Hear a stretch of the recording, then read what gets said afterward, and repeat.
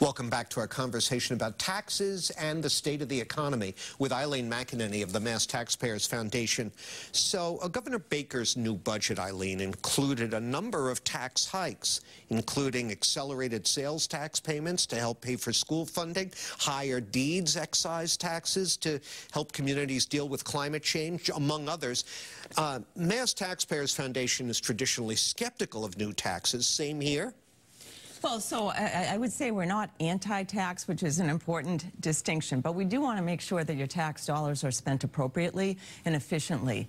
And, and I have to say I was surprised by the size of the tax increases. In total, it's about $600 million in new revenue that's proposed in the governor's budget.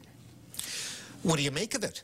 Well, so some of it is um, you know, it, it, makes sense in the sense for e-vaping, for instance, or e-cigarettes, they're going to be subject to the same tax regime as tobacco. You know, hard to argue with some of that.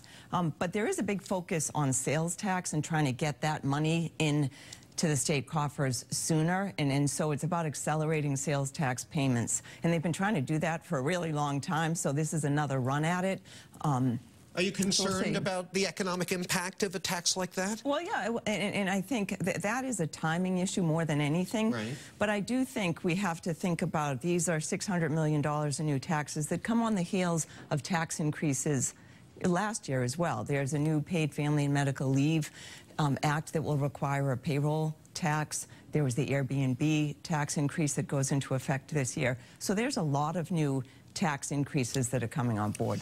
Last time you were here, I believe, if I recall correctly, we spent a lot of time talking about the uh, so-called millionaire's tax, which was a proposal headed for last year's ballot that would have uh, jacked up the income tax on high earners in the Commonwealth. It was dropped as part of the so-called grand bargain that was cut between business groups and labor and uh, uh with Governor Baker um, uh, supervising there. But already, the same coalition that was backing the millionaire's tax is talking about bringing it back. Uh, you, I, we know that you're an opponent of this.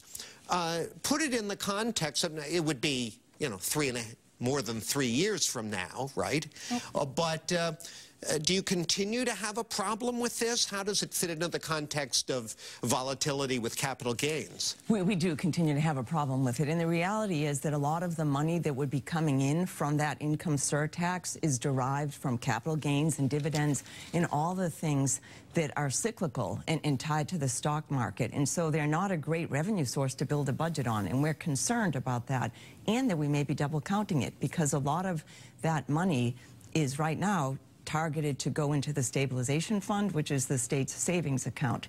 And, and so, you know, it, it's either got to be for the state fund or for education and transportation. So we're worried um, that it's not a good source for either of those spending items. I got to wrap it up, but one last quick one. Sure. Did the state over rely on tax revenue from recreational marijuana?